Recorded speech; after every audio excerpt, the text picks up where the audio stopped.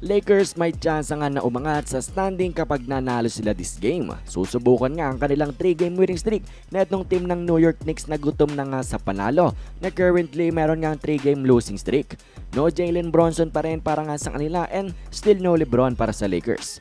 At sa ating first quarter mga idol, grabing start para sa LA Lakers and specifically dito kay D'Angelo Russell mga idol na mainit pa rin from his last game. Already has 11 points mga idol in 5 minutes. Tatlong tres ang kanyang pinakawalan, lahat nga yan ay pasok. Next naman, find themselves early down ng 16 to 11 kaya timeout tuloy agad sila after ng monster block na ito ni Anthony Davis kay Barrett.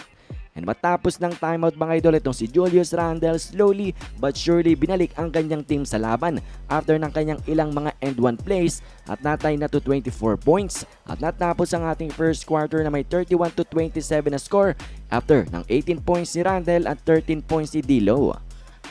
Second quarter naman natin mga idol, tinuloy nga ng New York Knicks ang kanilang run. 4 more points sila mga idol agad para magkaroon na ng 35 to 27 din sila over sa Lakers. At dyan na nga rin nagumpisa ang ating palitan ng baskets ng dalawang koponan na pinangungunahan nga ng Knicks with their lead.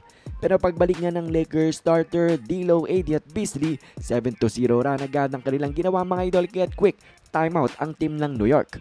Mainit pa din itong si D'Angelo Russell mga idol sa laban at isang beses palang nagmimintes. Pero palagi nga may sagot itong si Emmanuel quickly dyan mga idol at pati na rin si Julius Randle get natapos ang ating quarter na may kalamangan ng Knicks 62 to 59. Randle may 25 points na agad itong si Russell naman may 23 points na.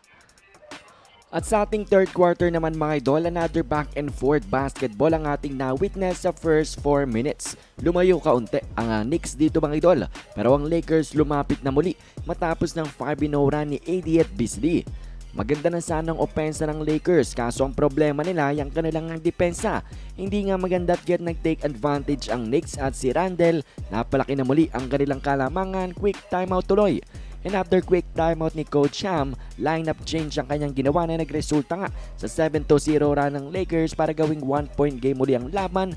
5 points dyan galing kay D'Lo. Tinodo pa nila mga idol ang 7-0 run nila to 12-0 run kaya nga't lumamang na sila 81 77. Pero natapos nga ang ating third quarter na may 86 to 85 lead ang Lakers. D'Lo 31 points, grabbing 12 out of 14 sa field. Randall may 31 points na din. At sa ating fourth quarter nga mga idol, 5-2-0 na agad ang ginawa ng Knicks na nagbigay na sa kanila ng kalamangan pero binawi nga yan ni Reeves matapos ng kanyang very tough and one play. Pero ang atake nga sa loob ni RJ Barrett at ng Knicks ay hindi napigilan ng Lakers at umangat na muli mga idol ang New York 101-94 with 7 minutes left. At tinuloy nga ni RJ Barrett mga idol ang kanyang takeover mode. Binalamang ng kanyang team to 10 points. At hanggang nga sa last 2 minutes may 10 point lead pang Knicks. Pero nang dahil nga sa 6-0 run ni Reeves, Dilo at AD, naging 110 to 106 na score with just 46 seconds left. Pero kahit dumikit nga ang Lakers by 2 points mga idol, kinapus na nga sila at natalo. 112-108 ang ating final score. Etong si Randall may 33 points, etong nga si Barrett may 30 points. Para sa Lakers ni Angelo Russell, 33 points, 8 assists.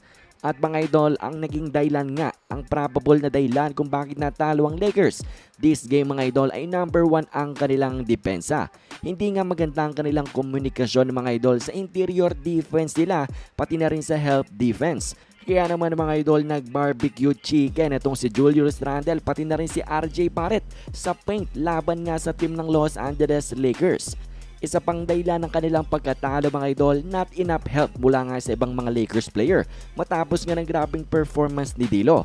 Ito ang si Malik Beasley 4 out of 12 sa field. Etong si Troy Brown mga idol 0 out of 8 sa field. Si AD 8 out of 18. Only 17 points na sinabi ng mga Lakers fans.